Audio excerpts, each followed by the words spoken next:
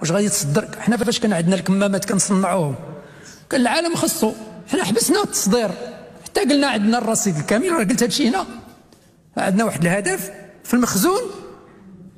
اولا الوجود في السوق ثانيا المخزون عاد قلنا يمكن نصدروا الدول الأخرى دابا ولاو حتى هما كيديروا نفس الشيء فيما يخص توفير اللقاحات. كيقول لك أنا نبدأ أنا وبعدها غادي قبل ما تخرجوا ما تنساوش تابوناو في العشان وتابعونا على المواقع التواصل الاجتماعي.